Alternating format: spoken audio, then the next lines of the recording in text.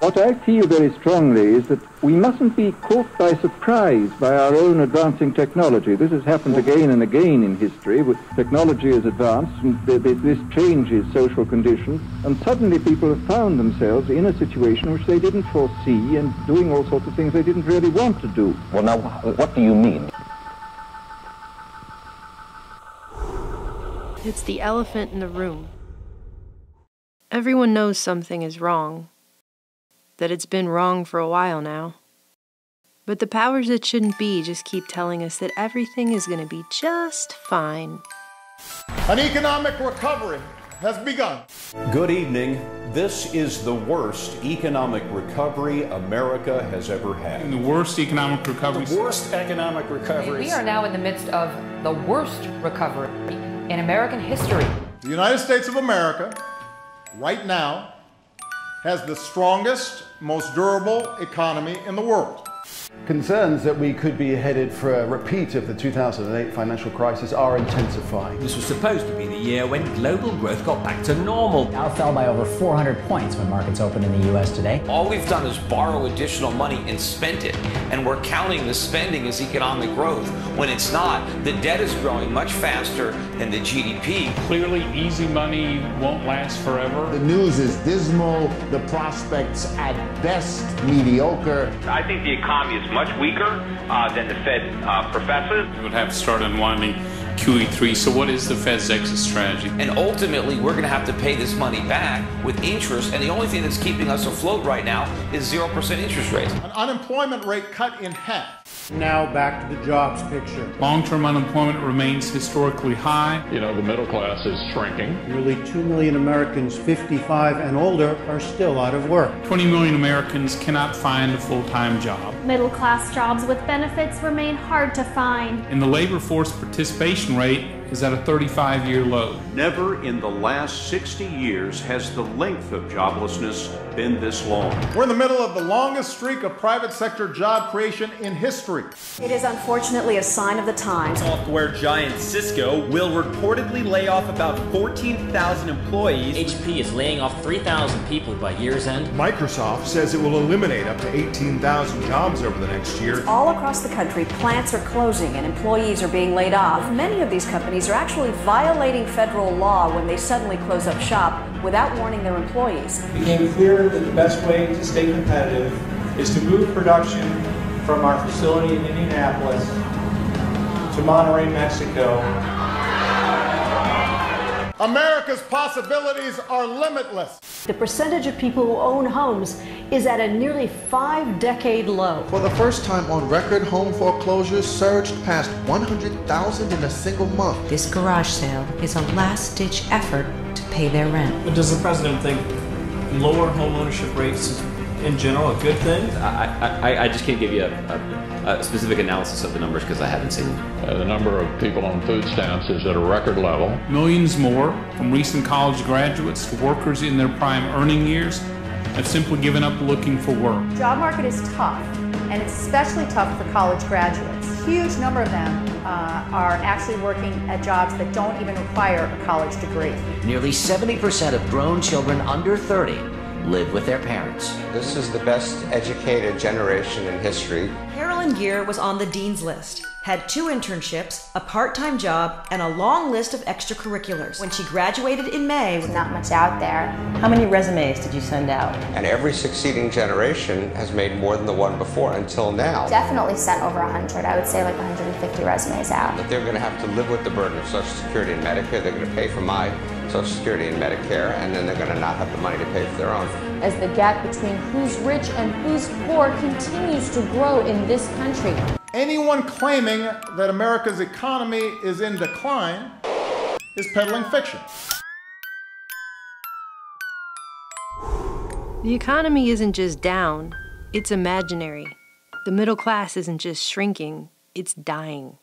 The wealth gap is astronomical and growing, The cost of everything from milk and eggs to the electric bill to a cup of coffee is increasing, while wages everywhere except at the executive level are stagnating. And that's for those that can even find wages to begin with. When will wages start rising for most American workers? It's a nagging question. On paper, seems as if it should be happening right now. And yet, still, we are told that everything is fine. Middle class economics works. Still, we are told we can all achieve the American dream. We're talking about the American dream this morning. On the I do believe in the American dream. Great American dream. Preserving the American dream. Achieve the American dream. Is the American dream. It came to be known as the American. We call it the American dream. Others have different variations. From the time we're very little, we're all told about how everyone can pull themselves up by their bootstraps and achieve the American dream term weaponized by propaganda master Edward Bernays back during World War II in order to sell us shit that fewer and fewer people can even begin to afford today. And Edward Bernays was really pivotal. He's basically the guy that's totally responsible for making society go down the toilet. Because the 1950s version of the American dream that was hatched was installed in our society using Edward Bernays' manufactured consent tactics. He took the focus off what you need and took the focus and made it on what you desire. Well, how do you like it? There's only one word for it. What we know today is modern day consumerism. Terrific. Large scale production requires a vast number of consumers. Cities provide a concentrated market that makes our economic system possible.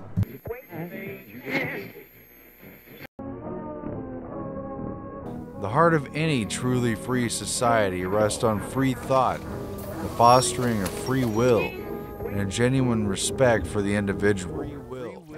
Free will is the right to pursuit, to dream of something better and try to have it, to navigate through the infinite possibilities of your life and take command of pivotal decisions. But our modern world has become increasingly defined by a predetermined list of choices. Submissive, docile, and resigned people. And gamed outcomes with planned contingencies rather than open ended destinies.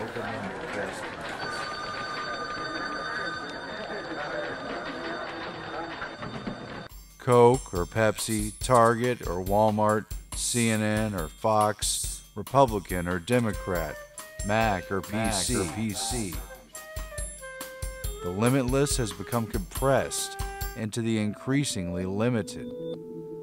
A, B, C, or D, small, medium, or large, paper or plastic, packaged.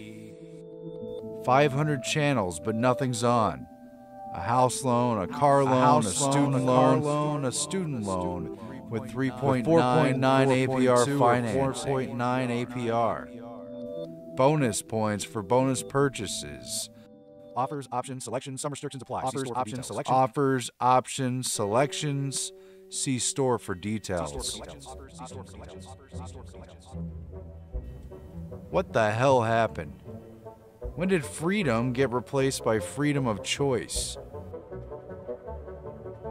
What was once about self reliance, the spirit of the individual, and building a meaningful world around yourself, even in the face of adversity, is today controlled by social engineers and scientific experts. Tweaked, refined, bleached, and processed. Five second sound bites obsessive labeling and categorization, choosing sides, big data analyzed in real time, GPS location, how strongly you agree slash disagree with the direction the country is going in in the latest Bloomberg politics poll, how many adjectives it takes to order your coffee in the morning. LOL, OMG, LMAO, WTF, etc., etc., hashtag buzzwords in less than 140 characters.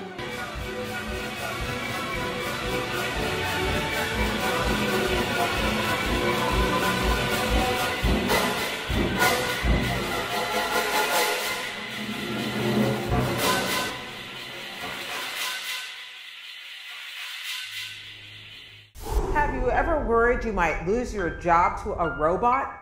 I have. Could well happen with advances in artificial intelligence or AI. More and more people are losing their jobs to what has lovingly been termed technological unemployment. You're most likely a victim of what economists have called technological unemployment. There's a lot of it going around, with more to come. Corporate profits are back. Uh, business investment in hardware and software is back higher than it's ever been. What's not back is the jobs. And you think technology and increased automation is a factor in that? Absolutely. Automation, Automation. robots, Robots. I'm an automated system. algorithms, Algorithms. delivery drones, Delivery drones. computerized kiosks, Would you like to make it a combo? self-driving, Self-driving. everything. Possibility of true 24 hour working. We're creating machines to do everything for us. We're making them that important we can never turn them off. We can't turn off the internet, we can't turn off our smartphones, how we live our lives. We shouldn't underestimate the potential of artificial intelligence. It's created a robot that will make burgers without human help. The device isn't meant to make employees more efficient, it's meant to completely remove the need for them altogether. El Camino Hospital in California's Silicon Valley has a fleet of robots called tugs that ferry meals to patients, medicines to doctors and nurses, blood samples to the lab, and dirty linen to the laundry. They're heavily automated warehouses where there are either very few or no people around. But is it going to jack up the unemployment rate? I don't know. Let's ask. Welcome. Please scan your first item. But they don't need that many people to work in these incredibly large and influential companies. Uh, to make that concrete, Apple, Amazon, Facebook, and Google are now all public companies. Combined, they have something close to a trillion dollars in market capitalization. Together, the four of them employ fewer than 150,000 people, and that's less than the number of new entrants into the American workforce every month. The, the fundamental limitation is input-output. Society needs to confront this question before it is upon us. If machines are capable of doing almost any work humans can do, what will humans do? This is Asimov. This is iRobot. We've been talking about this since the beginning of time. And unfortunately, I fear it's going to come to fruition unless we do something now. And the first thing we can do is stop thinking that it's cool and use our heads, grow up. Do you want to destroy humans? Please say no. Okay, I will destroy humans. No, I take it back. The future doesn't need our labor, and hardly anyone wants to have a serious discussion about it, because deep down, we all know it's true. An irreversible and perhaps unsolvable trend. Monetary policy is fueling the state sponsored economy at the expense of the independent businesses and Main Street USA. Recently, global strategist Victor Shvets told the Epoch Times that the private sector isn't just in decline, but that it will never recover. Why? Due to the quote declining return on humans, who are less productive than the cheaper machines replacing them, to a point that not only do we fail to justify more jobs and higher wages, but we can no longer justify the jobs and wages that we have now. I'm a carpenter. I'm a secretary. Fine. A teacher. Druggists, fishermen, chemists, bank clerks. My job is important to many people. There's real satisfaction. You can't help enjoying work in which you can take a real pride. We're seeing protests across the country as fast food workers gather demanding a raise in the federal minimum wage. Shvets noted that the productivity isn't just shrinking nationwide, but on a global basis. And unlike in the first and second industrial revolutions, technology isn't making our work faster or more productive. It's replacing the need for our work altogether.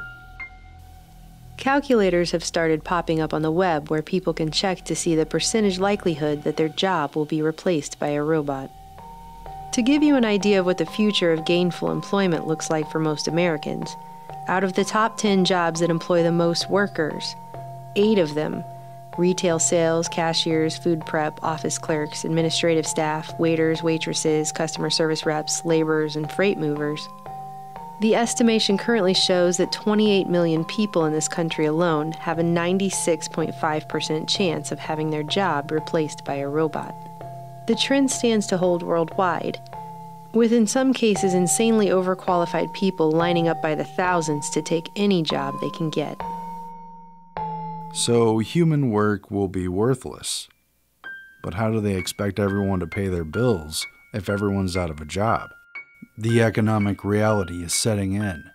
The policies of the Federal Reserve since the 2008 economic collapse are swiftly choking out private enterprise. Let the American people see what we have done in the dark of night. Bank of America, Barclays, Citibank, Credit Suisse, Deutsche Bank, Goldman, JP Morgan, and the UBS are initiating a series of actions. Treasury Secretary Hank Paulson issuing a statement tonight. The administration is committed to working with regulators to maintain market stability. And mitigate the unprecedented volatility that we're seeing.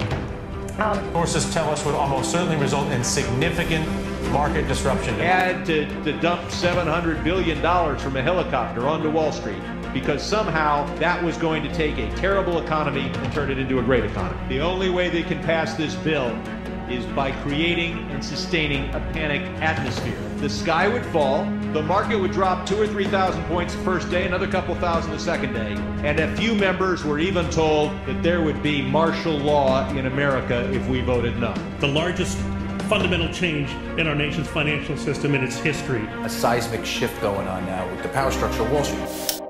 Their QE program of unlimited liquidity has created a glut of money at the top of the pyramid. There is no recovery because the cash is not trickling down into private investment or small business. Instead, investment is returning into government bonds. Victor Shvets warns, quote, the state will just take over. It's only a question of how. And if you were dominated by the public sector, then investment in the traditional sense is no longer possible.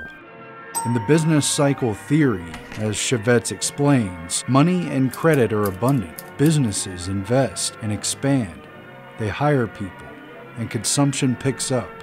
Profits can then return, and the economy at large can improve. But if the private sector never recovers, then investors will have nowhere else to turn but the state, and the entire vine withers. Only central bank intervention or government stimulus programs are important. Let me make it clear that the bank will take care of our needs. Now, the question is do we all work for central bankers? That's what I want to address to our guest tonight. But aren't we all just living and dying for what the central banks do? Aren't we are absolutely slaves to central banks. In this day and age, it's easier to start a new war than to forgive debt, thanks to the banks sitting at the top of the pyramid. The intervention of the Fed has created a system poised for collapse, and that reality can only be put off for so long. Regardless, the decline and drying up of the economy is leaving people little alternative. Market signals are drawing people ever closer to the state. The outcomes of the next 10 to 15 years could be quite dramatic, he said. During that time, the economy will shift more and more to being based around the enterprise of the state and taking care of the entire population, which often sounds good on the way in the door, but tends to produce the worst traits of corruption, mismanagement, and inefficiency. From there, we already know the end result. Right this is a generation being conditioned to accept life under the care of government. Victor Chevet said the biggest theme is a declining return on humans, the replacement of humans, biotech, the augmentation of humans, and opium for the people, like computer games and gambling. People are being sold out, written off, distracted, dulled, subdued, and ultimately dehumanized, sent off in a dream as a new reality takes over and drifts a soft blanket over the once vibrant species of humanity. No one's going to have a job in the world, and it's you know just going to be the Davos elite, and we're just going to have a good time, and everyone else is going to be rioting or some stereotype like that. It's completely false. The correct answer is that everyone gets smarter because of this technology, and you solve the problem of inequality, which is a significant one, through progressive tax policies and so forth. Again, this is not news. This technological train wreck is something the elites have been discussing for decades. A speech by Norbert Wiener, the guy who invented cybernetics and basically brought machinery and robotics and automation. Way back in 1950, he was at a meeting with a bunch of top managers. He's given a speech about how easy it is to replace human action, to program what people do, and to use the computers and the machinery to do it for them. He says this elimination obviously could lead to great unemployment. I'm not only talking of overall labor, I'm talking about white collar labor too, and really cutting into the economic backbone of ordinary people. This is in 1950. He already knows that these machines are not limited by relatively simple matters, that they're going to get more and more sophisticated, and that there's really very little that regular people can do that machines can't do in replacing them. Everything that we're doing is replaceable. But the discussion has come to a head in the last few years. This video is about what the elites running the system are talking about doing with us. Just in the last year or two, the Bilderberg Group, the Elite World Economic Forum at Davos, the George Soros Open Society Institute, among others, have been sitting at round tables behind the scenes discussing their plan for the future of the proles. And the solution they're throwing around? Universal basic income. One giant government dole that we would all have to rely upon to take care of us. According to leaked documents from Soros's October 2015 Open Society U.S. Programs Board meeting, a session was held on whether or not Soros's foundation should seriously pursue the idea of universal basic income. The program notes that it was something other USP board members had already been discussing and refers to a future of work inquiry. The discussion centered around paying each American U.S. citizen over the age of 21 and not in prison a flat income of $10,000 a year. They point out that this solution would do nothing to address the wealth gap or income inequality, but it would at least improve outcomes for individuals who might otherwise be building shanty houses on the edge of town and under highway overpasses. Davos discussed it as well in a session titled A World Without Work the old jobs are being automated. There's no question about that. Machines will eventually get better than humans at many of these things. That doesn't mean we won't have meaningful activities. Probably what will change is the, our uh, definition of what earns you an income, what earns you a living. We did detach our work and income? That could be a possibility, yeah. Really? Uh, that's, a new, uh, that's a new paradigm. Uh, yeah, in the sense that you don't have to, uh, you don't have to work to get uh, a basic income. Uh, now, having a universal minimum income mm-hmm. is one of those ways, and in fact, it's one that I'm very much in favor of. Uh, as long as we know how to apply it without taking away the incentive to work at the lower end of the market. And Bilderberg discussed, quote, the precariat and the middle class. Basically, uh, a general idleness and aimlessness of people who could become revolutionary, who could uh, be subjected to civil unrest, who will probably be on social welfare and benefits for the rest of their lives and have nothing else to look forward to. That's the direction that the people in this country are actually headed towards. Bilderberg invited Silicon Valley's Sam Altman to discuss his efforts towards providing basic income for a society that would be largely without work in the near future. Just a week and a half after Bilderberg's June 2016 meeting, it was reported that Altman's company, Y Combinator, was running a basic income experiment, billed as the social vaccine of the 21st century. In Oakland, California, where some 100 families were chosen to receive 1,000 or $2,000 a month in order to collect, quote, valuable data from the pilot on how to implement, manage, and scale further UBI incentives. The Guardian went on to point out that UBI is in some ways welfare for capitalists. Now, more people can drive for Uber and work for TaskRabbit at even lower wages. Because UBI subsidizes the meager paychecks earned by hustling in the shared economy. The tech companies take home the profit while facing even less pressure to pay a living wage to non employee employees. Also, keep in mind that it targets to give everyone the same amount and to destigmatize government assistance. That way, everyone will come on board, meaning the wealthiest in society are getting the same stipend as everyone else, hence the word universal. The wealth gap and income inequality would continue to grow in consort with the burgeoning, increasingly underpaid slave class. And just by looking at a few of the other names on the attendee list, it's easy to read between the lines as to what is intended. A universal basic income, just enough to hold it all together. Poverty, or at least dependence, will be institutionalized. We'll be like gerbils, pets, people without a purpose who just get government paychecks. But what does the future look like for the hordes of helpless masses, completely and unyieldingly dependent on government for everything? There have been tests. Studies have shown that the elite's so called solution of a socialist redistribution utopia will not end well. And it's something they already know.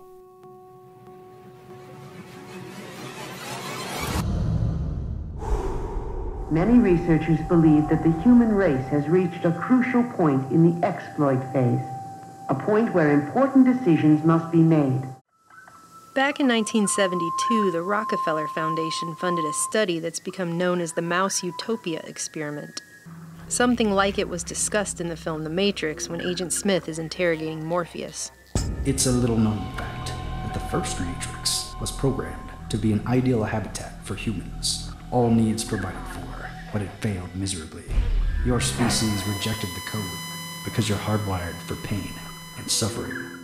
Entire crops of humans died, and we were forced to reconfigure the system.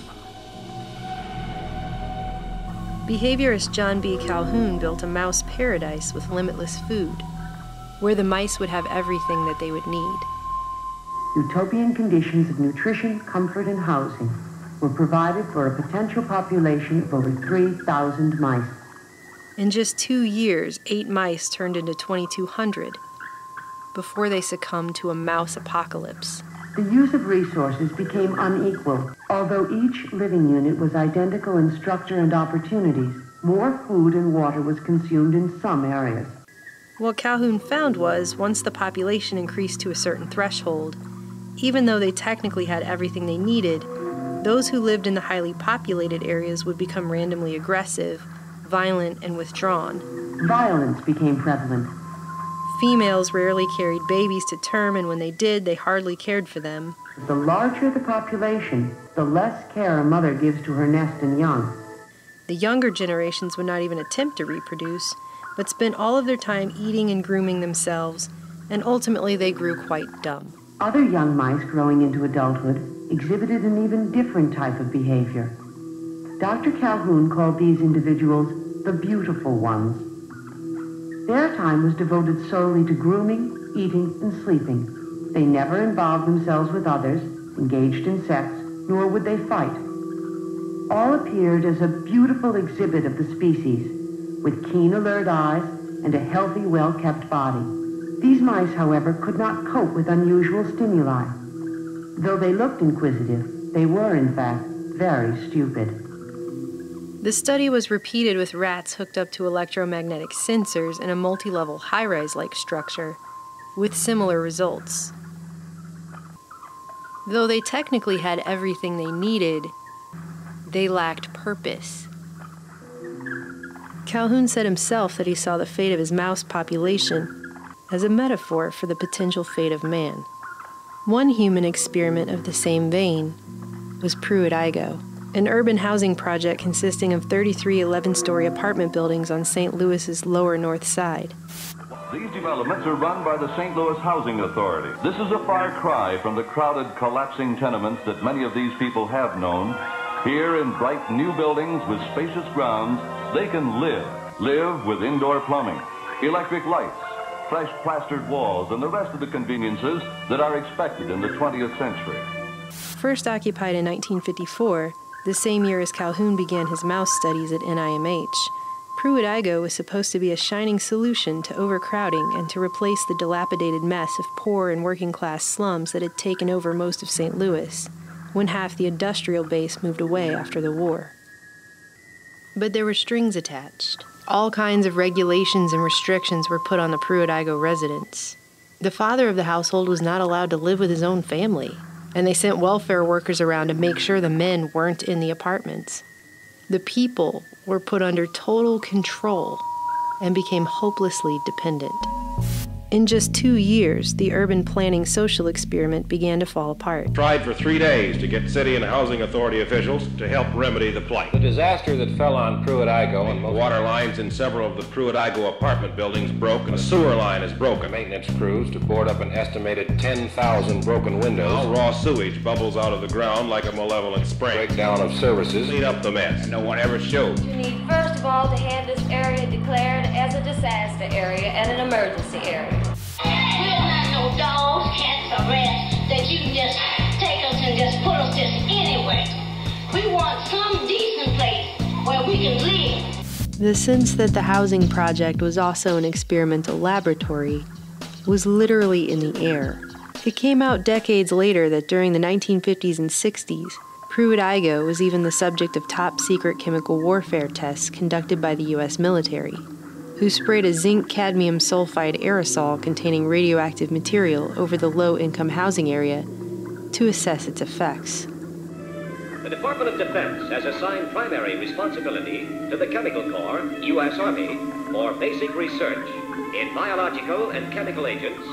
Reports of links to cancer have surfaced, but have never been causally linked. Of course, the Army insisted it was harmless. Just like in the Mouse Utopia experiment, violent gangs took over. Within a few years, the place had been ripped apart by its unimproved tenants. Old and middle aged people were scared to live there, and the young were in the corridors with flick knives. It devolved into total chaos, vandalism, and squalor to the point that residents lived in fear, and police and firemen refused to go to Pruitt-Igoe even during the day. The buildings were finally demolished beginning in 1972, the same year Calhoun's mouse Utopia devolved into extinction. So the elites running the show realized that ultimately, the utopia of universal basic income might look nice on paper, but it won't work. To enjoy your work, you'll need to find in it more than money. You'll need personal satisfaction, pride of accomplishment, a sense of importance to others. The masses become shiftless, depressed, angry, and antisocial. And maybe the elite are fine with that. But they're centralizing power anyway in preparation for return to feudalism, the oligarchical collectivism coming our way, where we're all hamsters in a cage living on a dole managed from a highly centralized, militarized government above. All of this ties back to eugenics. The elite have manufactured a future that is only meant for a select few. The population of the Earth is rising at such a rate that it will double in half a century. Well, why should overpopulation work to diminish our freedoms? Well, in a number of ways, the position of these countries, the economic position becomes more and more precarious. Obviously, the central government has to take over more and more responsibility for keeping the ship of state on an even keel. Calhoun's rat study on the problems of plenty justified the neo Malthusian worldview of the Club of Rome, of the population bombs authors, and the elite foundations. Ironically, however, the very innovations that are making possible dramatic improvements in human well being are also creating new problems. The present world population of slightly over 3 billion will, at the current rate of increase, be more than 6 billion by the year 2000. Exceed 8 billion by the year 2020. As our cities grow, our problems grow. This growth has begun to have appalling consequences. However, the result of these positive measures is a world population that has risen during the same short period of time geometrically, and herein lies the dilemma that we all face. With a population reduction, there would be fewer consumers dividing the total production. No program of social and economic improvement can succeed unless it is accompanied by an effective birth control program. Aided by interested industrialists, by a wise government, solve the menace of runaway population. The United Nations can and should play an essential role in helping the world find a satisfactory way of stabilizing world population. A society which practices death control must at the same time practice birth control. Unless population control can stem the tide, humanity would soon look like scenes from Soylent Green, with violent masses waiting for rations of food in a system that is completely overwhelmed. It is tempting to think of this only as a problem for distant peoples and faraway lands, but it is a worldwide problem. Improved public health caused the world's infant mortality rate to decline by 60%. The real motivations for a century of eugenics and population control shows through. As individuals, we can only applaud. However, the result of these positive measures is a world population that has risen geometrically. The world's average life expectancy has increased, has increased expectancy, has increased, has increased, has increased. We are told that the world is overpopulated. 12 billion by the year 2040, 24 billion by 2080, that the Earth has a carrying capacity. and so on. We are told that the buildup of carbon dioxide and the result of human activity is destroying the planet and that the population must be reduced by any means necessary. Family planning is not only a personal matter, but a national concern. Parents should have only two children. Propaganda work is necessary. Messages are broadcast over radio and the ever-present loudspeaker. The advantage of having small families and limiting population growth are explained. One of the most important aspects of family planning campaign is providing jobs for women. The factory's barefoot doctors keep track of the women's menstrual cycles and deliver birth control pills at the proper time. But all that is just an excuse for one larger, harsher reality. The Earth itself has more than enough to provide for the swelling numbers of humans. They understand employment has a connection, that family planning is connected with employment. But the man made economy no longer has a need for so many people. The value of human labor is dropping to near zero. People, at least in mass, no longer have a purpose in this society. And without a purpose, humans become a liability. Useless eaters who have to be taken care of and kept in check. This harsh but sobering reality has driven hysterical cries for birth control and family planning, for one child policies and forced sterilization, for carbon taxes and mandatory environmental policies. We needed new homes, lots of them, and fast. In the framework of 21st century control, through the UN Agenda 21 plan, There are many good things about living in this new world, but because so many families needed homes so fast, our metropolitan areas have spread without plan. and other measures to heavily restrict human activity and consumption, and ultimately reduce the footprint with the swiftly declining population. Economic growth is, of course, an in, inevitable corollary of a growing population and is essential to improve standards of living. But without careful coordination, unrestrained economic growth poses further threats to our environment. Fighting again breaks out in the Republic aviation strike. We're talking about a policy of reducing human numbers, picketers mass to keep non-striking of exterminating an entire class of workers who've outlived their purpose. For those in control, even in times of abundance, humans can only be trusted to be self destructive and unproductive. In times of shortage, humans pose a threat of total instability and would collapse terribly of its own weight within days and weeks. With no jobs worth doing, the elite would greatly prefer for far less people to be around.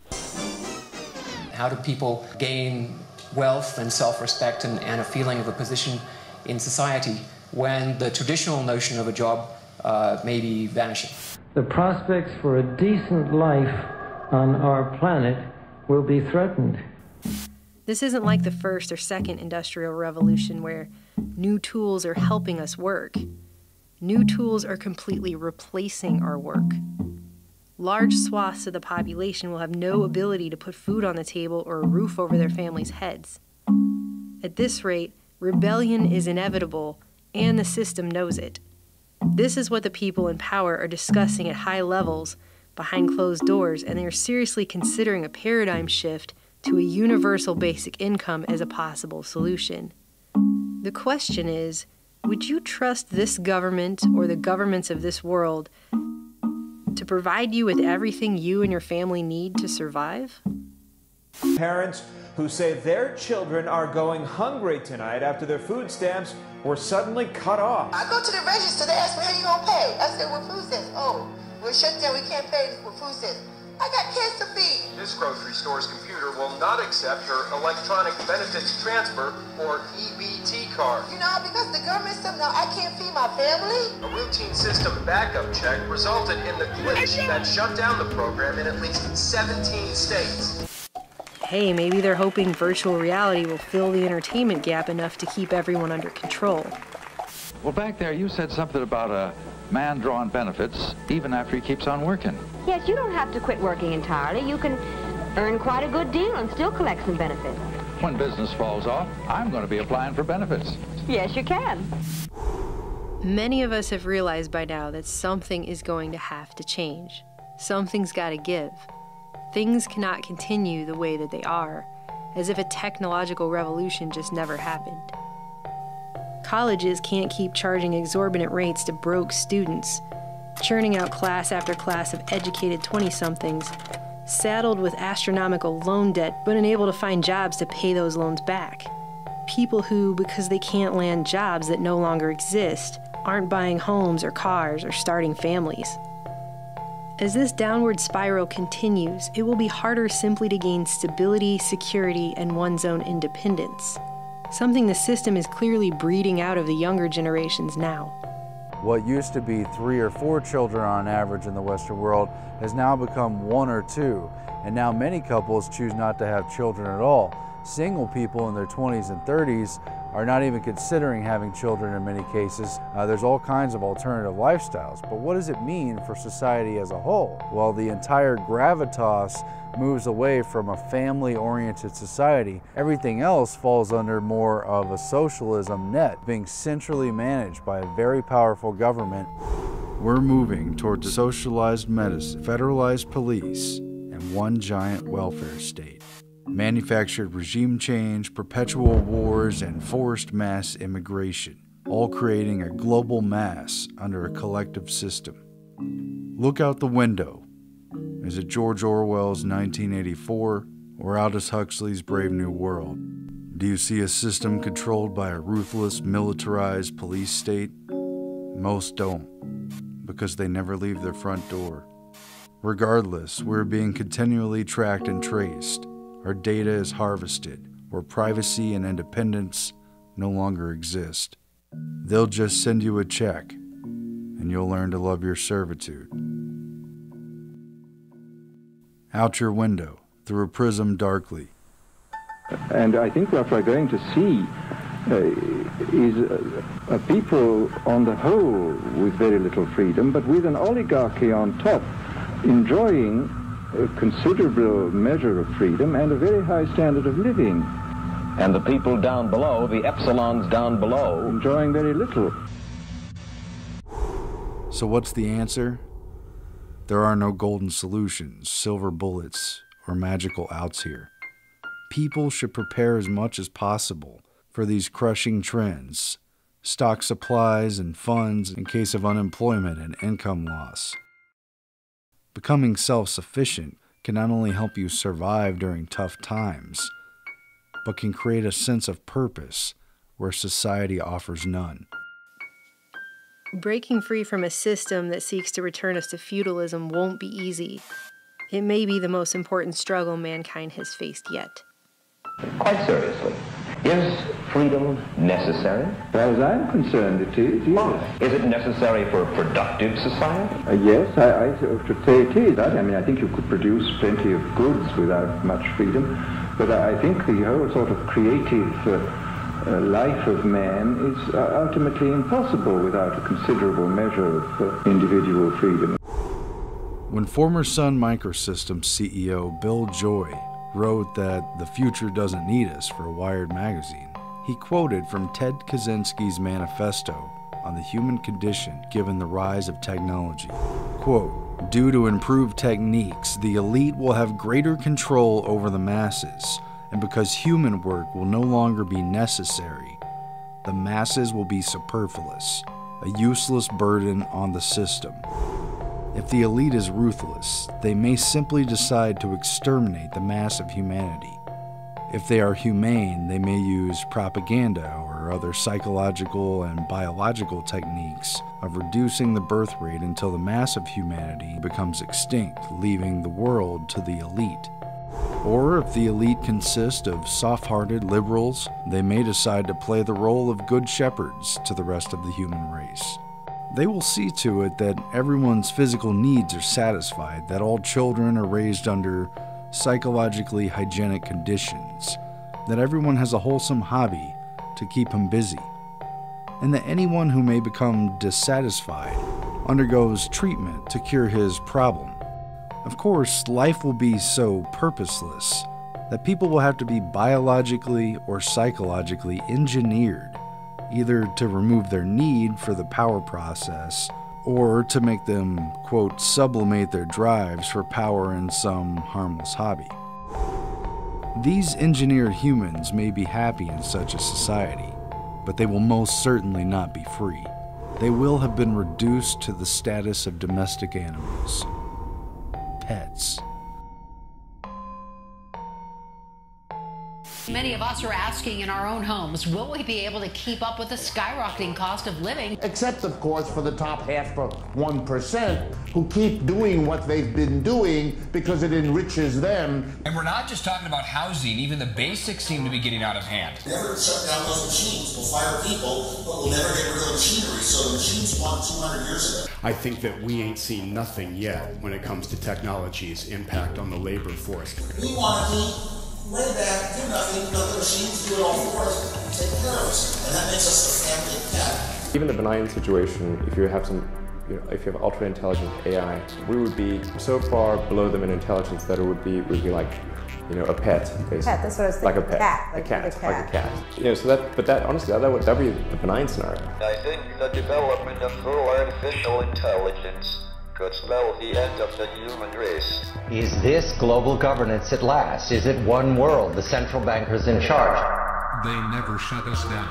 We're more valuable than you. We won two centuries ago. The struggle is about maintaining our humanity. Your future I belong to us. Efficiency, technological progress.